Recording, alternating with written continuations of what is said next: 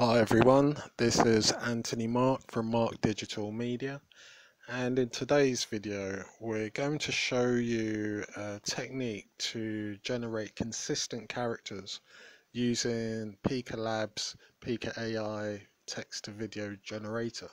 So let's get started. Right, so you can see I've prepared a work folder here with a source image. So look, so this is yours truly um, and this will be your target subject. So that's prepared there. Now we'll move to the target video. Sorry that should be source subject. And this is a target video we'll be using. So as you can see this is a normal Pika Labs generated video.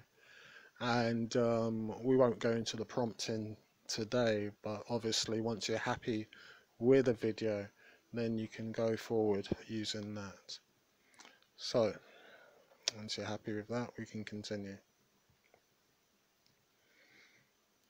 Now, so the next thing you have to do is go to our website. We'll try to include these links in the comments below, in the pinned comments, because uh, our YouTube channel is quite relatively small. It means we need uh, more supporters. So please like and subscribe to give us more features. But as you can see here, I'm going to our blog and go into the latest post consistent characters in Pika AI. Here you'll see a link to a Google Colab. So the next stage in the process is to visit this link here. Okay.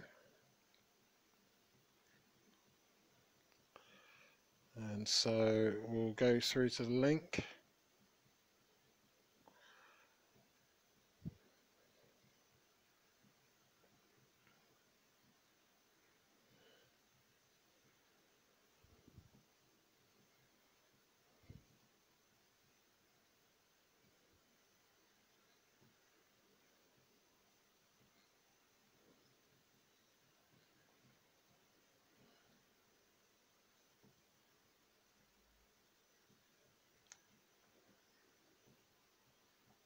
Right, so let's reload that.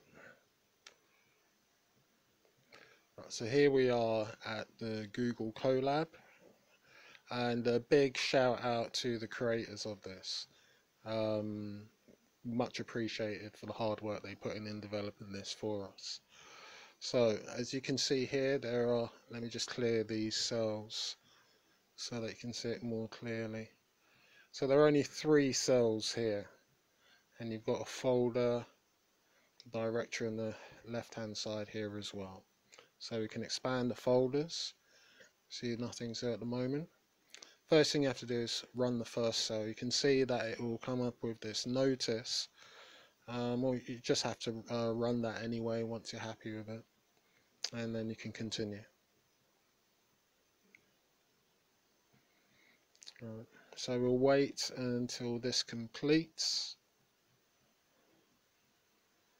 and you know when it's finished um, completing uh, when the play button has stopped spinning.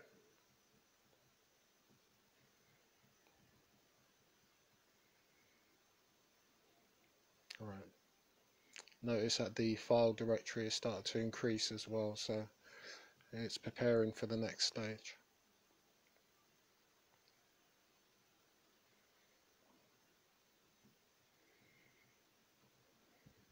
You can go down to the bottom and we can just wait for it to complete down here before we move on to downloading the model. And here we are that's complete. But do take note here you will see a runtime error and it will ask you to restart the runtime. Please ignore this error. If you do it will uh, fail the process. So all you have to do is continue like that now once that's downloading the model, the next stage is to grab the source files and just drop them into the directory. Just okay this warning here. Pretty common sense. And then we're going to get, so the source is there and we're going to get the target video. Next.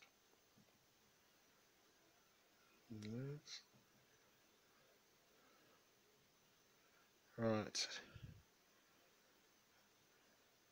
Okay, so you can see we have a problem here where the target video is not exactly uh, completing with the upload. This is very important. Do not continue the process or it will fail if you try to continue the process without successfully uploading the files. So I'll show you a little trick on how to overcome this little error here.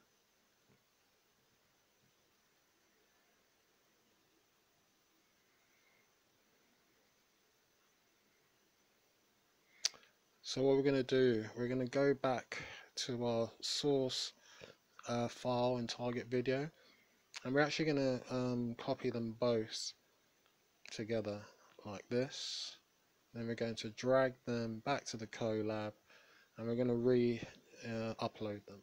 See this time it's actually worked and this last one here I think we can get rid of because we already have a copy of the file here in the directory so if we're happy with that we can continue to the last cell now, if you have a look at the instructions on this last cell here, you'll see that there's a target path, there's a source path, and there's a content path. Very important to take note of. Because what you want to do next is you want to change these paths, update them. So we go to the source, right click, and then copy path. Okay, we're going to paste it over here, just like that. We're going to do the same thing with the input video or the target video. Uh, click copy path and then we'll paste in there. Okay, so once you're happy with everything, then all you have to do is run the final cell.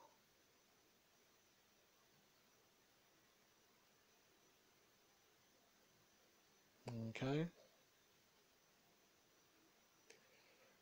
So now, as that's downloading, uh, all we have to do is wait I will say it's important to um, use a .png file with the source image. We found um, it can not work if you use any other format.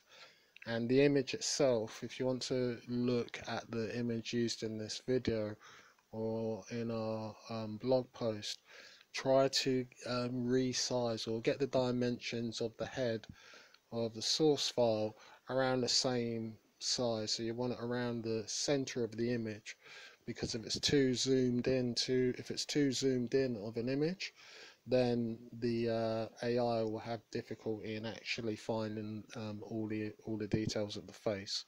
So make sure the space the face is a good distance away as well. So what we're going to do next is just wait for this to complete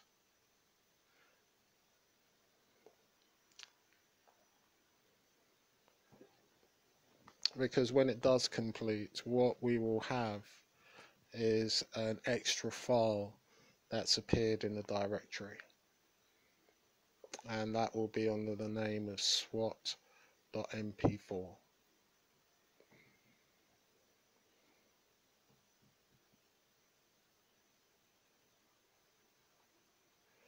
and here we are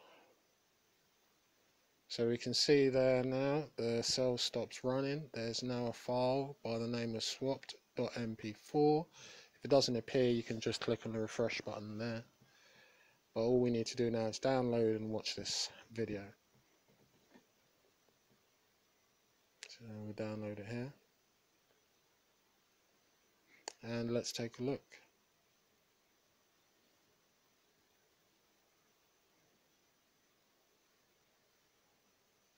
And here's our finished video so as you can see it's done a good job of translating the image onto the actual character in our target video and it's done so while maintaining the lighting textures and style as well which is very important Uh, let's have a look at them both side by side. So here's our original video and here is our processed video. You can also see a significant increase in the amount of details to the face. So even on just normal videos as well, if you were to um, like the video but wanted more details on the character's face, then you can easily use this technique to enhance it. There are other methods to achieve this, which we are looking into right now um, outside of Colab and other techniques such as using this technique with multiple characters in a, in a shot. Always remember to close down your active sessions in Colab, otherwise they will ban you and you don't want that. Okay, so that's our tutorial. Hope you find it useful and feel free to ask any questions. Take care. Bye.